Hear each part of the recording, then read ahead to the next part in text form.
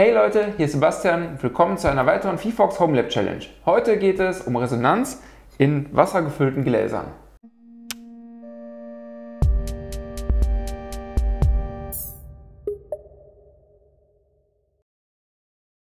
Für diese Challenge braucht ihr ein Smartphone mit VFox und ein möglichst schmales und hohes Glas mit steilen Wänden. Also lieber wie diese Vase hier als dieses Wasserglas.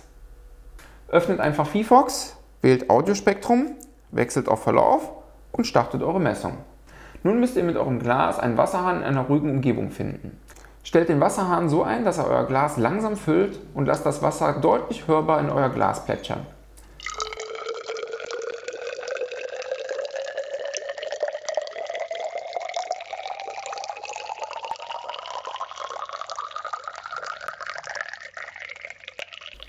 Im Audiospektrum könnt ihr jetzt die Frequenz, also die Tonhöhe des dabei erzeugten Geräuschs verfolgen.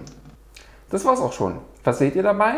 Steigt die Frequenz als gerade an oder hat sie einen anderen Verlauf?